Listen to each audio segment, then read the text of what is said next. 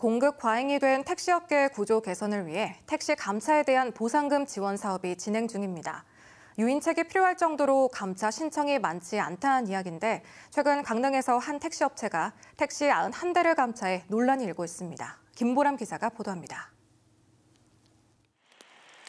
1961년 문을 열고 60년 이상 운영해온 강릉의 한 법인 택시 업체입니다.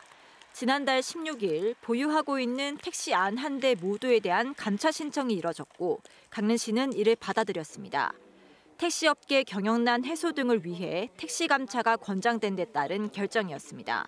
3차 사업의 부진에 따른 여러 가지 제한 사항들로 인해서 그동안 택시업계 운수 종사자들이 권익을 보호하는 데 많은 어, 어려움이 있었습니다만은 문제는 감차 보상을 위한 예산이었습니다.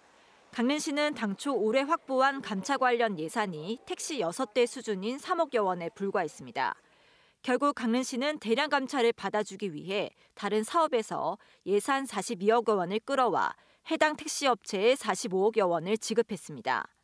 강릉시 의회에서는 무리한 감차라는 지적이 나옵니다.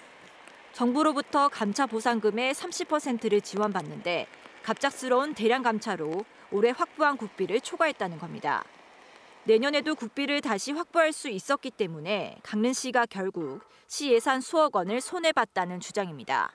또 시민에게 돌아갈 수 있는 어떤 혜택이 사업비가 줄어드는 부분이기 때문에 이거는 행정에서 어, 바람직하게 예산을 집행한 게 아니라고 보여지는 거죠. 더욱이 해당 택시업체가 감차 신청 이후 강릉시에 폐업 신고를 하면서 택시 감차 보상 사업이 폐업 지원 사업으로 전락했다는 비판마저 나오고 있습니다. KBS 뉴스 김보람입니다.